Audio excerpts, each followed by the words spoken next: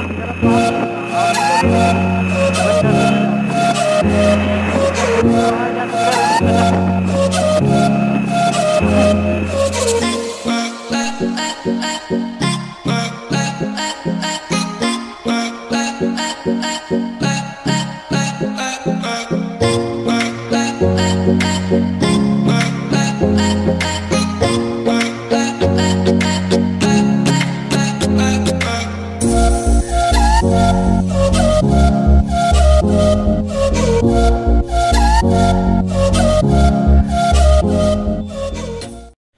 So so guys मैं आपको बता देना चाहता हूँ कि ये देखो ये जो है रिवर ये है शाही रिवर जो आप जाते हो भवरेश्वर मंदिर जाते हो वहाँ मिलती है और इधर से देखो यहाँ पे कुछ नहीं बुरे खेत से दिख रहे हैं।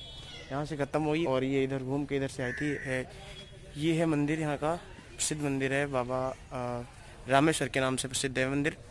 तो गाइज़ ये कुछ सीन है कि यहाँ पर पहले नदी यहीं से गुजरा करती थी और तभी आ, कुछ लोग कपड़े वपड़े धोने आते थे तो बाबा जी ने कह दिया था कि मतलब जो नदी माता थी इनसे, कि आप यहाँ से हट के आगे चले जाओ तो अब यहाँ से वो जो पेड़ देख सकते हैं, देख सकते हो देखो, थोड़ा जूम करके दिखाता हूँ।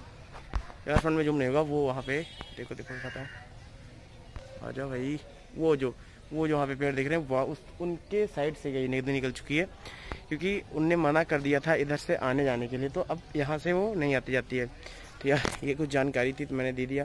बस ऐसे ही मैं आया था घूमने के लिए सो बस यही दिखा दिया, बाकी फिर कभी आते हैं तो पूरा अच्छा सा एक ब्लॉग बना के डालूँगा। बाकी ये जो सीन है, मैंने दिखा दिया, आपको बता दिया।